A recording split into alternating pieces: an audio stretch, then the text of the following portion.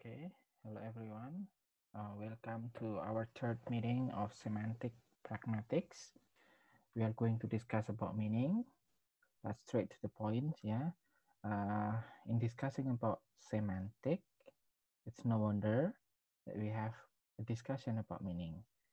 Like we have talked before in the last meeting about the differences between semantic and pragmatics. The study of meaning, yeah, and the pragmatic is the meaning of the utterance or meaning in context. This is a big review about last week materials, yeah. So if we talk about meaning, yeah, we can take a look, yeah, very long, long time ago when meaning has been studied for thousand years, yeah, by philosopher, Asians and linguists. For example, the famous one that from Greek, yeah, Plato, and also Aristotle. Uh,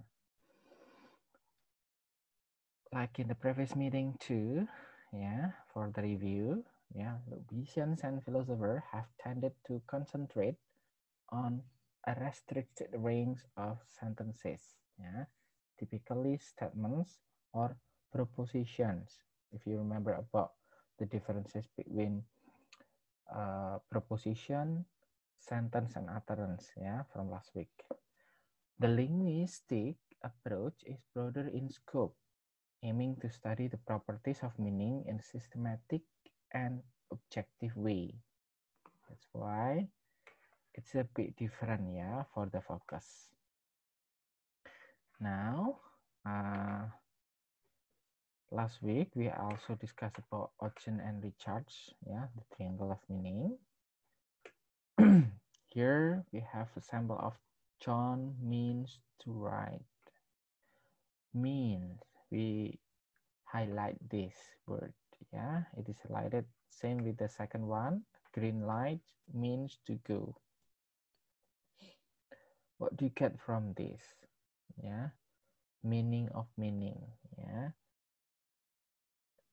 this is just what a animation yeah our introduction to meaning itself yeah there is someone who said what is the meaning of life I don't know.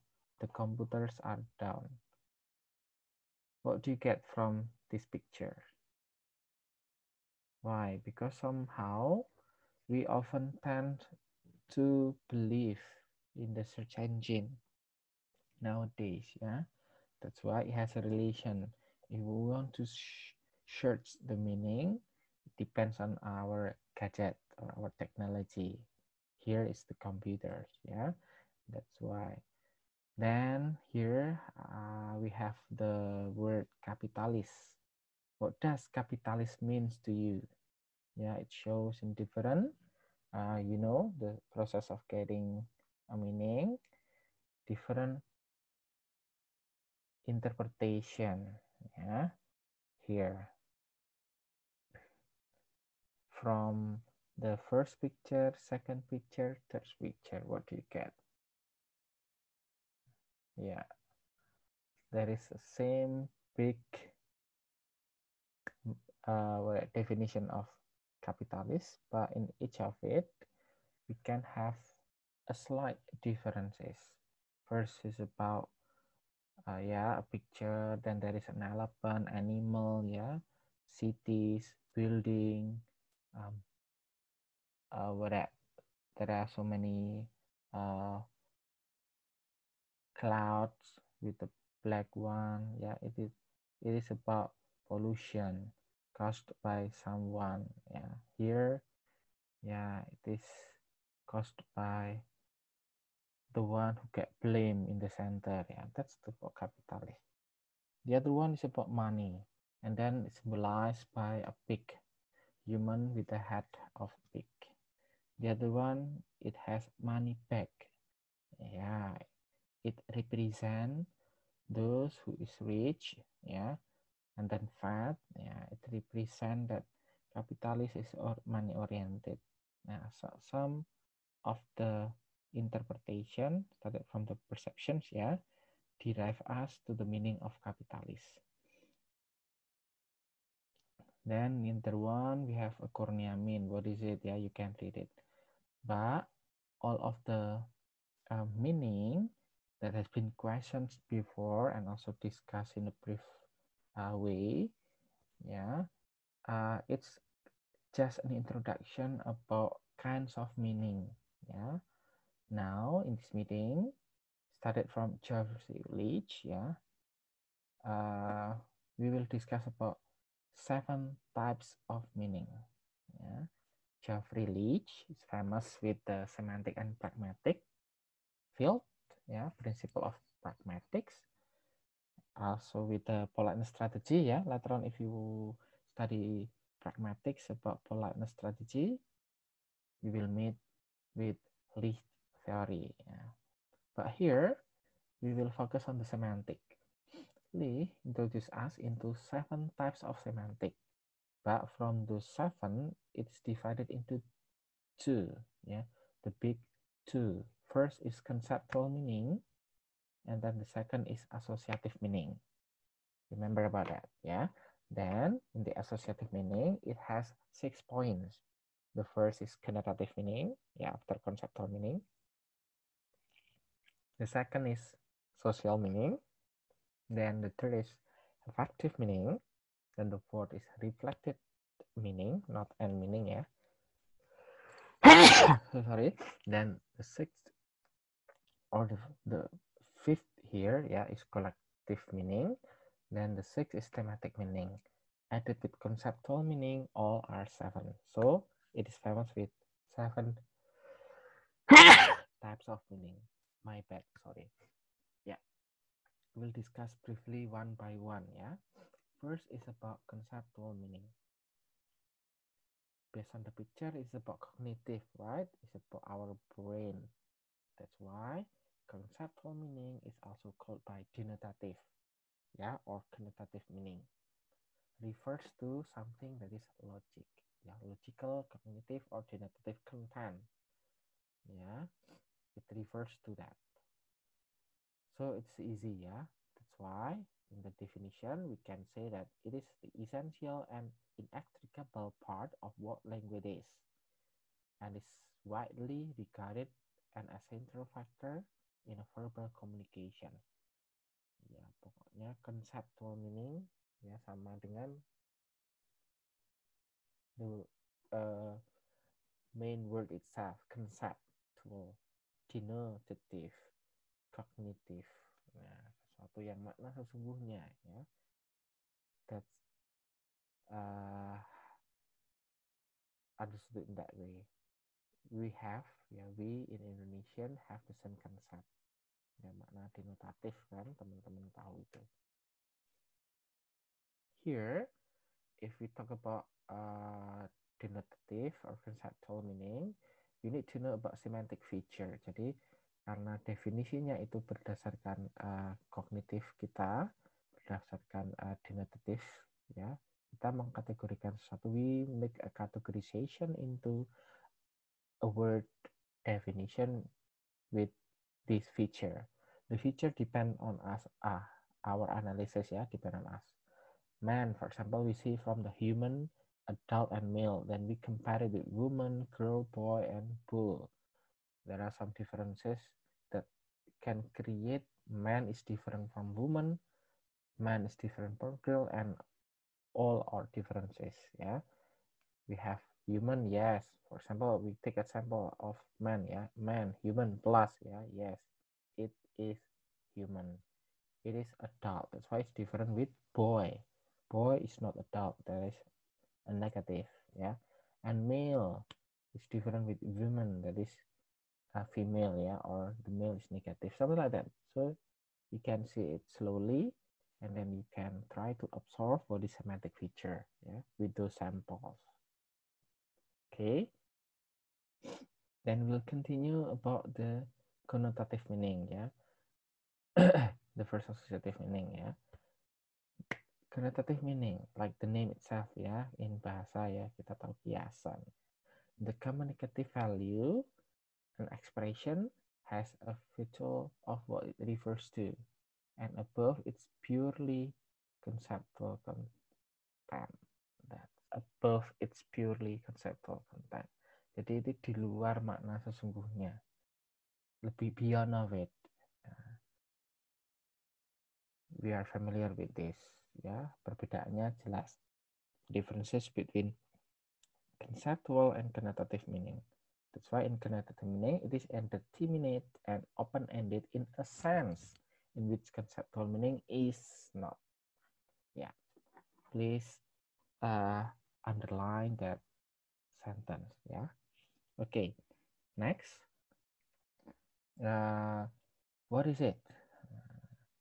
The bell ring mean class is dismissed. Jadi kalau teman-teman ya uh, you try to revoke your memory when you was in a senior high school for example.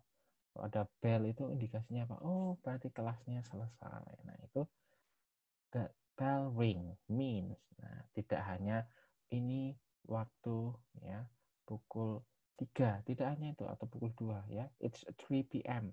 not just like that. It has another denotative meaning. Yeah, okay. next we have this kind of denotative Yeah, and uh, sorry connotative meaning. Ya uh, previously I said denotative it means uh, connotative meaning. Ya stepmother. Nah, yeah, we have the conceptual definition, conceptual meaning, of course, but here, in another way, the stepmother will have a different one, yeah, like in Cinderella movie. So it has kind of connotative meaning. Yeah, but not only that one, yeah. This is based on the connotative meaning, but the, in the reality, uh, it's not 100% correct yeah some of the uh, what is that? Stepmother can be nice too yeah? Okay. Then the third is about social meaning. What a piece of language conveys about the social circumstances of its use. So it is related with the social circumstances. When it is applied when the meaning is used so uh, it is influenced by dialect time yeah province status modality and singularity. That's why if we talk about social meaning uh, the meaning of the word are influenced by the social factors. Yeah like the geographical one yeah like the time. When i say bastard right now it's different with, with the meaning of bastard 10 years ago and then it's different with the meaning of bastard in a 30 years ago yeah so social meaning matters of the time dialect or place and many more yeah okay for example yeah domicile, we have a very formal official one. Yeah, this is the social meaning.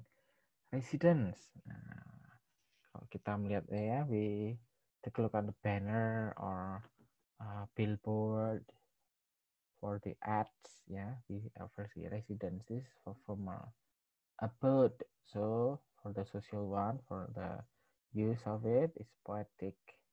Yeah, home oh this is still general yeah because we talk about general one and you can see for example the last one.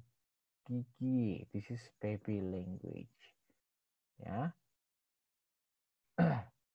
That uh, represent about the same thing the general one horse. But based on the social meaning it different. If we use it horse or if we use it with steed or if we use it with nag or gg ya itu you can make a sample with your own languages ya. Kalau misalnya di Indonesia teman-teman bisa ngasih contoh beberapa hal ya. It's you. Please make a sample. Ya misalnya kalau di bahasa saya di Jawa ya in Japanese language guguk ya.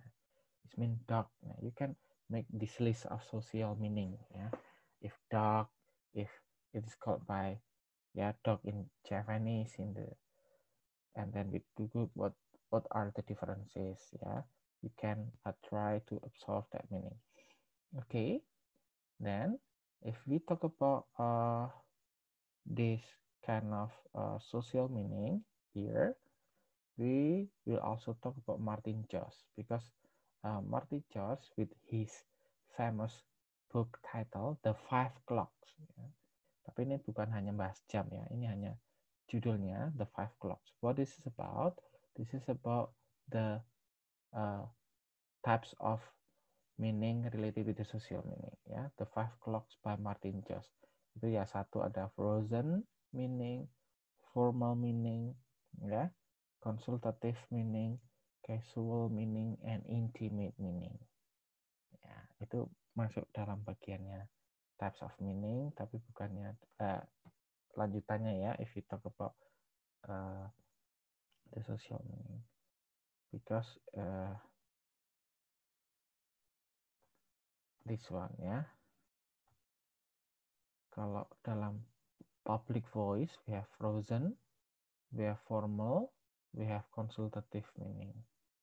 Ya Martin just five clocks register contohnya ini frozen register atau static register ya. This style of communications rarely or never ya. Tetapi ada uh, uh, uh, small potential ya. Poten uh, potential for being changed but rarely very small ya or never change at all ya. makanya ini disebut frozen ya sudah membeku. Jadi it is frozen in time and content oke okay, next ya the sample Pledge of the Allegiance. Misalnya kalau bendera itu ya black and white. What does it mean? Kalau di ini bendera Amerika ya. There is a, several stars at the corner and then with the blue background and then in the outside of it we have uh, red and white. This is the United States flag. Yeah. That's a frozen register. Word to a song. Ya, kalau we see the lyrics, ya, it is frozen register of certain song, certain title, ya. Dan poetry, uh, such as uh, static prayer, ya. Ada beberapa doa yang memang itu frozen register, ya, and many more. Then how about formal register? Yeah, this language is used in a formal setting and is one way in nature. Ya impersonal and formal. Misalnya ini common format for this register are speech. Ya kalau kita dalam pidato-pidato ya ini speeches ya. We have a formal register. Then what another register? Ya for the formal register presentation academic paper ya, essay sermon, speeches, announcements, interview. Yeah, we have a formal register. Then next we have consultative register. What is it? Yeah, this is a standard form of communication. Nah, bedanya apa ya dengan yang sebelumnya ini formal register? Ya, yeah, this is two-way communication used in the conversation. No past experience with that person. Oh, so you know about it, right? This is uh, different ya. It's a professional discourse. Contohnya ya supaya lebih jelas ya. The, the stranger ya strangers the strangers who interact and then uh, adults at work for example like that talking with lawyer or doctor. Yeah, we have consultative register. Then we have uh, counselor and client. Yeah. We have this as the consultative register. Next, we will see the casual and intimate, misalnya voice.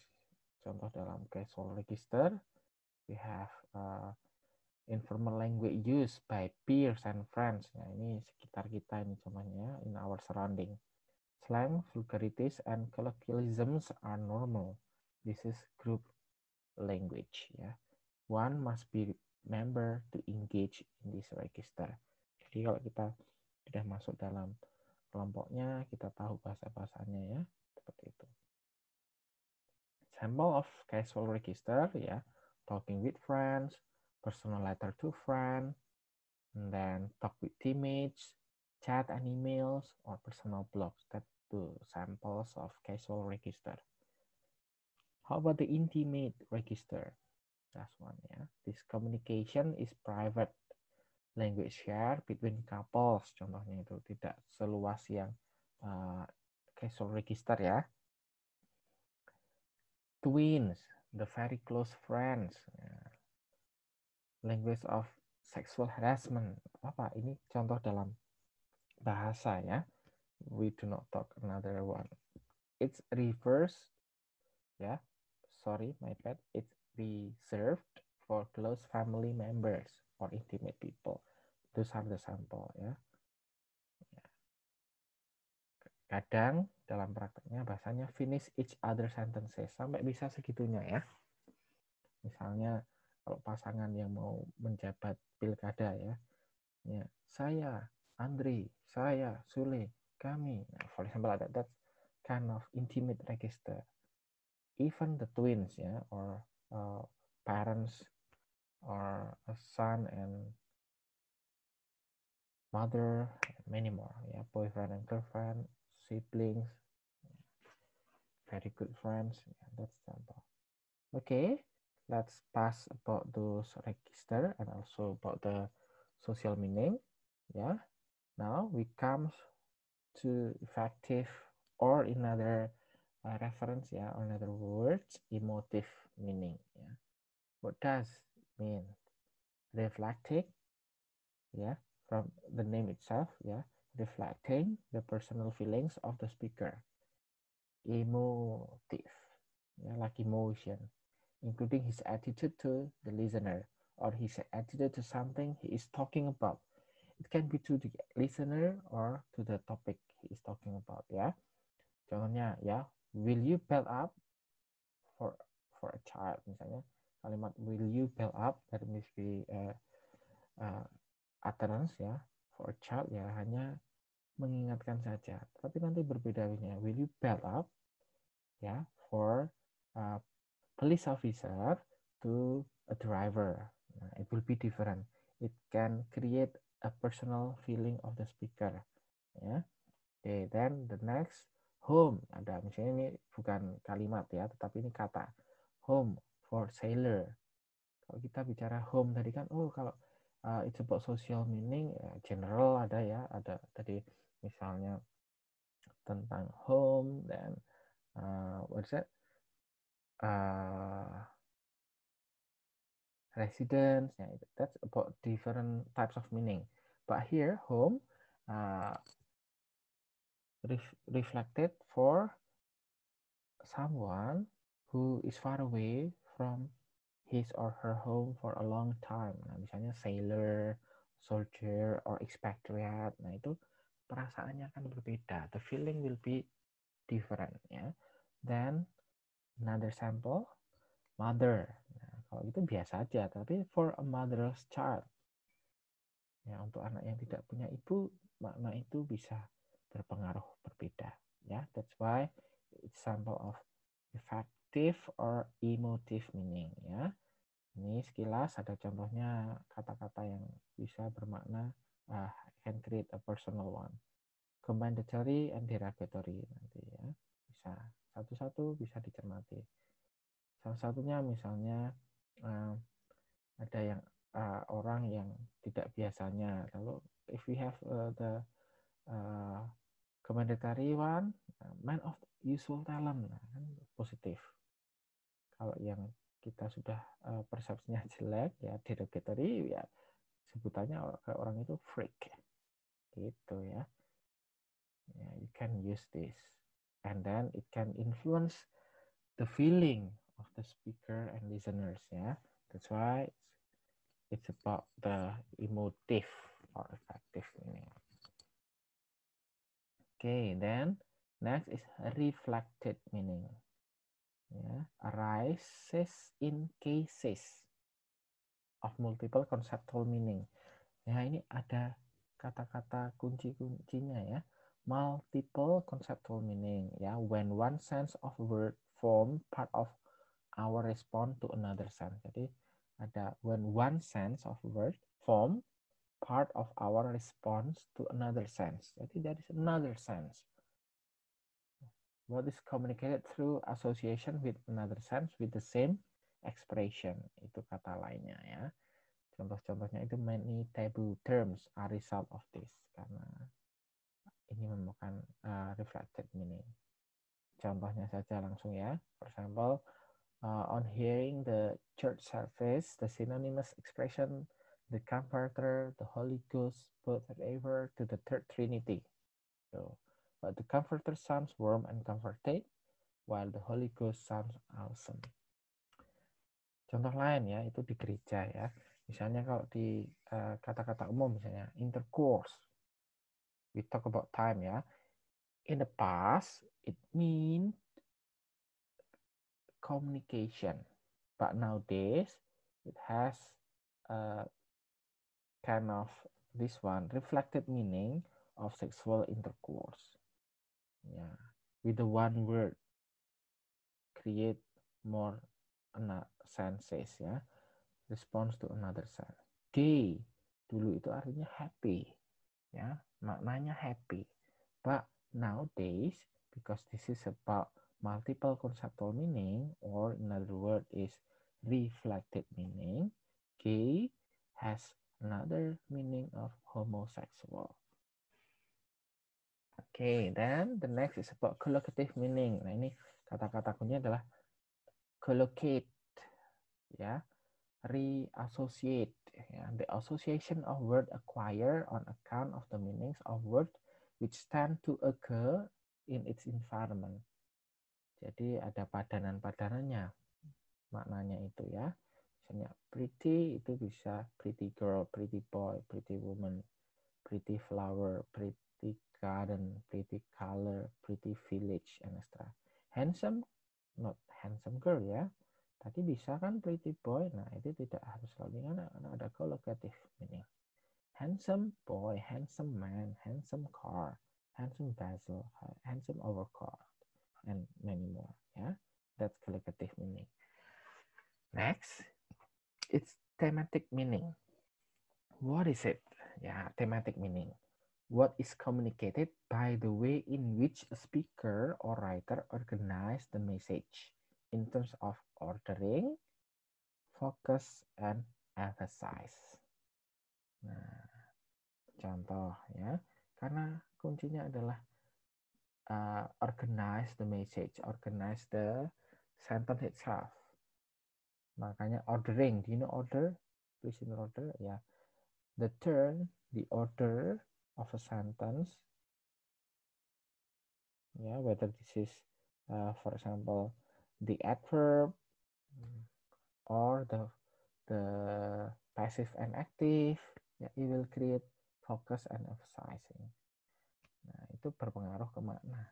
This is called by thematic meaning. Mana yang akan difokuskan, mana yang akan ditekankan, maknanya ya kan bisa saja sama uh, istilahnya with the same conceptual meaning yang makna jenis makna pertama tadi sama jenis apa makna literalnya harafiahnya tetapi dalam thematic meaningnya ternyata oh ini yang ditekankan it being emphasized and then in the second one pasifnya menjadi it's being emphasized. For example, Mrs. Bessie Smith donated the first prize. The focus will be in Mrs. Bessie Smith. The second one, passive, yeah. The first prize was donated. Yeah. The focus will be in the first prize by Mrs. Bessie Smith. Ya, ada lagi tentang uh, pen, ini order of the adverb. Ya, it also create a thematic meaning. Ya. They stop at the end of the corridor. At fokusnya jadi ke mana? Mereka berhentinya at the end of the corridor would be the second one.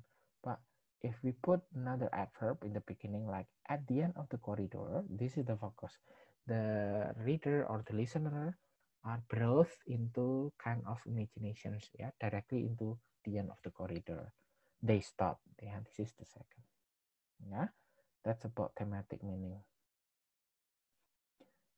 This is the final category of meaning yeah. Thematic meaning is the meaning that is communicated by the way in which the speaker or writer organize the message. Itu tadi diulangi di sini. Ya. Oke, itu sudah dijelaskan. Nah, silahkan. You can read the summary. Uh, if you see another references, maybe using a kind of similar word, but the same uh, meaning, ya conceptual meaning sometimes we say this is cognitive or denotative dan sebagainya itu okay.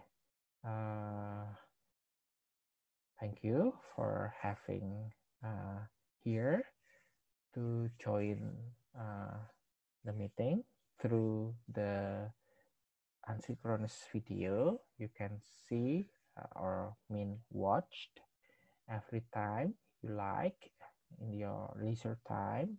Yeah.